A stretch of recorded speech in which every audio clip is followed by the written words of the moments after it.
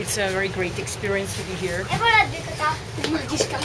So the people are doing the best work for saving the lives, and we hope we hope that we will have less experiences. But anyway, we need such kind of service, and I wish personally good luck to all of you, and thanks a lot for your great work you do for humanity.